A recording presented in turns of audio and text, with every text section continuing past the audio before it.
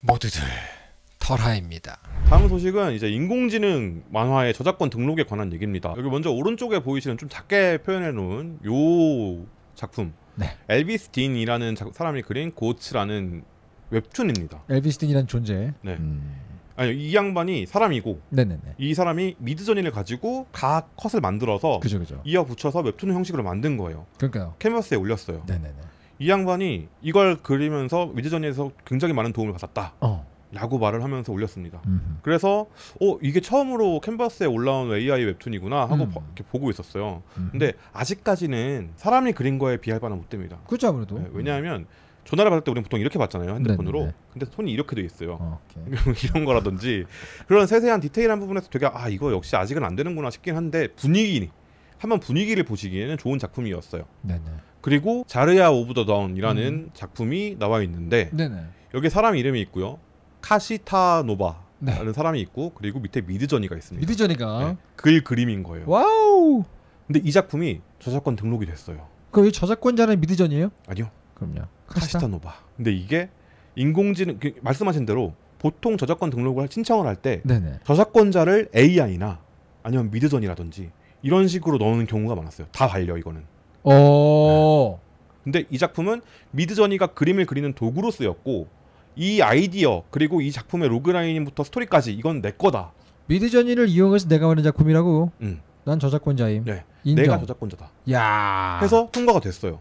AI가 만들어낸 컨텐츠가 저작권 등록이 된 만화계에서는 최- 최초의 사례입니다.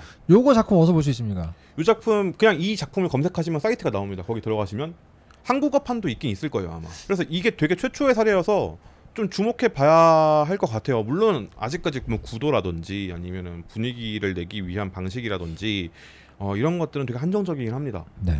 근데 이런 시도들이 나오고 있다는 거 그리고 저작권 등록이 됐다는 거. 도구로서 쓰인 인공지능은 저작권 등록을 할 수 있다.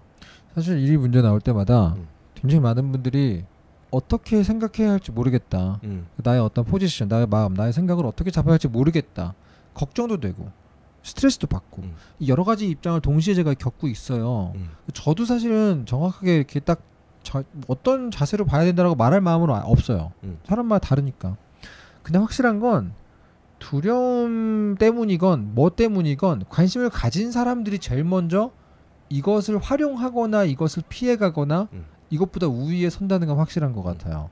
분노를 해서 약간 관심 가진 타이밍을 놓치는 분들은 어느 방식으로건 이거하고 좋은 관계를 못 맺더라고요. 음. 도구로서 어디까지 쓰일 수 있는가를 네네. 한번 생각해 볼 만한 사례가 아닌가 싶어요. 그러니까 네네네. 지금 여기서도 당장 우리 거 팔 거니까 음. 돈 내고 보세요가 아니잖아요. 그죠. 보고서 괜찮았으면 도네이트 하세요. 인 거는 사실 그렇게까지 자신 없다는 얘기일 수도 있거든요. 그죠. 네. 그냥 니네가 결정해줘. 네. 나도 모르겠으니까. 사실 모르겠으니까. 언더캐님께서 앞으로 내 만화에 달릴 댓글 이거 보더니 AI 만화 볼 듯. 근데 항상 원래 그 왜- 악플들 유형 중에 하나잖아요. 그 다른 걸 이용해서 나를 내려, 야그 내려치게 하는. 씨. 어. 야그 돈이면. 그렇죠. 어. 근데 여기서 좀 정확하게 좀 짚어야 되는 건 AI가 그린 그림이 저작권 등록이 된 게 아니고 네네.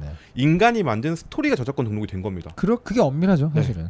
그러니까 아직까지 인공지능의 저작물을 어떻게 볼 것인가가 이 체, 체계 자체가 우리 시스템이 아직 판단을 보류하고 있어요. 그죠 그죠 음. 그죠. 음. 왜 이걸 판단을 보류하고 있을까? 그리고 건배랄님이 방금 말씀해주신 데지카를 학습한 인공지능이 만든 거 이거 그거는 사실은 굉장히 많은 후보작이 들어 후작업이 들어갔잖아요. 사실상 한 20명에 가까운 스태프들이 만든 만화에 가깝습니다. 그렇습니다. 네. 그러니까 아직까지는 어떤 인간의 손이 닿아야만 하고 인간의 손 없이 자기 혼자 창작하는 인공지능이 있다면 우린 그 그분을 이제 선생님이라고 모셔야 된다. 그죠. 라고 얘기했던 것처럼 아직까지는 뭔가 시스템도 그렇고 사람들의 사고 체계도 그렇고 인공지능이 뭔가 스스로 만들어내는 것은 음. 아예 상정하지 않고 있다라고 볼수 있을. 것 같아요. 있을 것. 같아요. 네. 과연 이것도 근데 그 특이점이 언제 올까? 그거 하나 그러니까요. 딱 지나면 확, 확 달라지는 그런 느낌인데. 음, 그렇습니다.